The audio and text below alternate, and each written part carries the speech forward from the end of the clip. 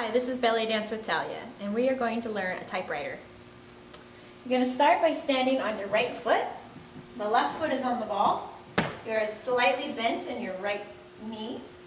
You're going to take the hips, suck them in, and lift the chest up. You're going to start by dropping the left hip. One, two, three. So you notice it, it twists backwards as you go. One, two, three. Again, it's front, center, back. And you'll notice my knee turns out just slightly. One, two, three.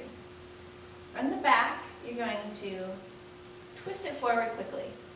One, two, three, twist. One, two, three, twist. One, two, three, twist. One, two, three, twist. So it's like the typewriter you're typing here, and you get to the end, you can't go anymore, so it goes ding, and you're back to where you started. Two, if you remember the old typewriters. One, two, three, ding.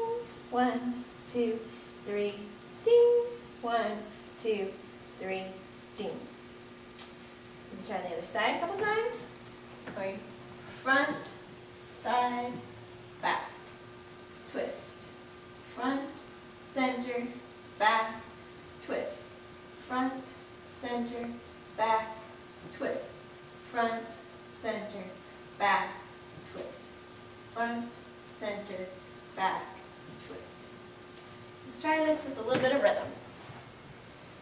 Five, six, seven, eight.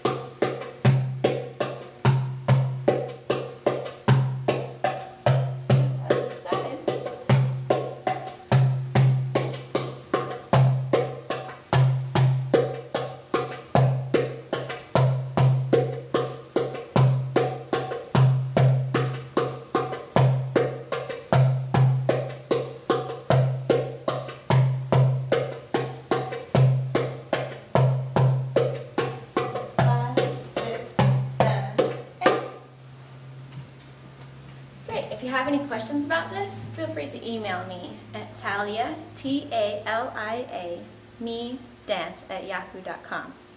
Also, don't forget to leave a comment and to subscribe.